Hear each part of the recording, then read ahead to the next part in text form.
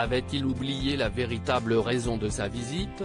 En 1997, alors qu'il était président des États-Unis, Bill Clinton s'est rendu en voyage officiel au Royaume-Uni afin de rencontrer le fraîchement élu Tony Blair en tant que Premier ministre.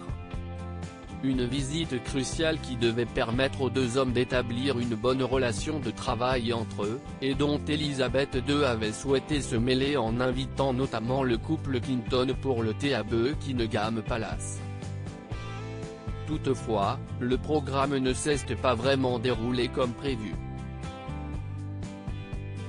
Comme le rapporte The Guardian, qui a consulté des documents qui étaient jusque-là classifiés, si et Hillary Clinton ont apprécié l'invitation de la reine, ils ont préféré jouer les touristes en faisant du shopping à Londres et déguster de la cuisine indienne, selon une note d'information de Downing Street publiée par les Archives nationales.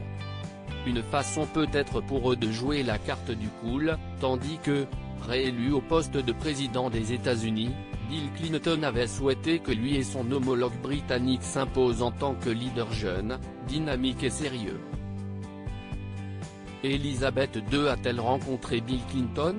Une démarche pas vraiment réussie pour Bill Clinton, qui, s'il est apparu jeune et dynamique, n'avait sûrement pas à l'époque été perçu comme sérieux dans l'exercice de ses fonctions, tandis qu'il avait notamment rejeté l'ensemble des propositions faites par le ministère des Affaires étrangères britannique pour s'intégrer à son emploi du temps.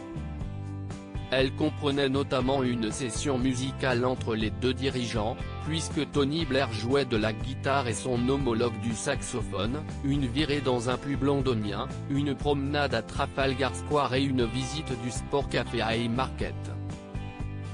Heureusement, Tony Blair a fini par rencontrer Bill Clinton, et même de nouer avec lui une grande complicité, tandis que Elizabeth II avait accueilli le président en 1995 à Buckingham Palace, et s'est rendu à la Maison Blanche en 2000. Sa Majesté m'a impressionné comme quelqu'un qui, sans les circonstances de sa naissance, aurait pu devenir un politicien ou un diplomate à succès. En fait, elle devait être les deux, sans avoir l'air de l'être non plus, avait même écrit Bill Clinton à propos d'elle dans ses mémoires.